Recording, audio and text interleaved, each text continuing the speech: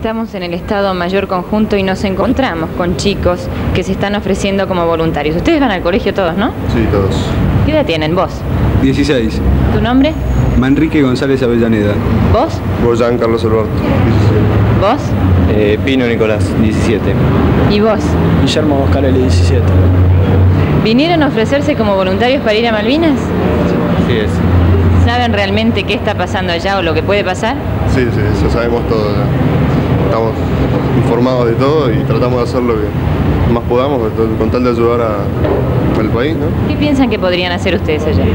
Y bueno, primero tratamos de ofrecernos en el frente, pero eso ya es para mayores de, o sea, de 19 para arriba.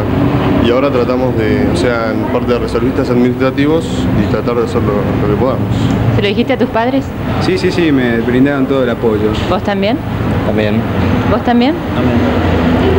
¿Cuánto tiempo se quedarían en Malvinas? Lo que sea necesario. Felicitaciones, chicos. Gracias. Señora, ¿usted vino a ofrecerse también como voluntaria? Sí, señorita, me viene a ofrecer. ¿Usted sabe que la situación es difícil en el sur? Por eso mismo quiero ir. ¿Qué podría hacer allá? ¿Cómo piensa que podría Yo trabajar? tengo cuatro chicos y tengo esposo.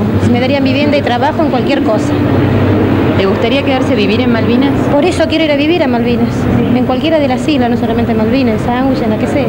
Muchas gracias, señores. Gracias. ¿Qué podrían hacer en Malvinas? ¿Qué oficio tienen? Bueno, yo soy plomero gasista, pero amén de eso, vamos a ver si se puede ayudar de alguna, de alguna otra manera. ¿Usted? Yo igualmente en la misma especialidad de... ¿Y usted? ¿Qué oficio tiene? Yo soy contable, pero para lo que necesiten. ¿Saben que la situación es difícil?